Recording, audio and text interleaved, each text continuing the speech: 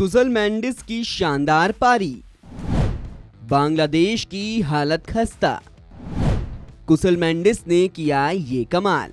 बांग्लादेश बनाम श्रीलंका के बीच खेले जा रहे एशिया कप 2022 के पाँचवें मुकाबले में श्रीलंका के बल्लेबाज कुशल मैंडिस ने दुबई के मैदान में अपना तूफ़ान ले आए हैं। आपको बता दें कि कुशल मैंडिस ने आज पारी की शुरुआत की और पारी की शुरुआत करते हुए उन्होंने बांग्लादेशी गेंदबाजों को आड़े हाथों लिया।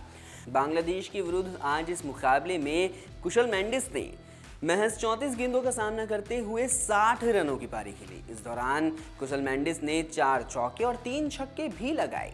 लेकिन सबसे खास बात ये रही है कि कुशल मेंडिस ने पिछली पाँच पारियों में बांग्लादेश के खिलाफ ये चौथा पचासा मारा है।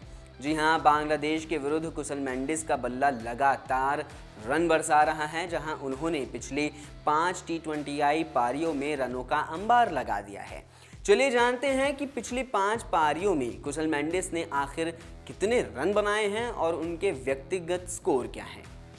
आपको बता दें कि आखिरी पाँच टी ट्वेंटी अंतर्राष्ट्रीय पारियों में कुशल मेंडिस ने बांग्लादेश के विरुद्ध 230 रन बनाए हैं। इस दौरान बल्लेबाज ने 60 आज के मुकाबले के अलावा 50, सत्तावन ग्यारह और बावन रनों की पारी खेली है। महज एक बार ही ऐसा हुआ है कि कुशल मेंडिस आखिरी पाँच पारियों में से एक पारी में पचासा नहीं मार पाए। बांग्लादेश के खिलाफ इतनी शानदार बल्लेबाजी करते हुए ही उन्होंने आज के मुकाबले में भी ये लय बरकरार रखी और बांग्लादेशी गेंदबाजों को अच्छी खासी टक्कर दी।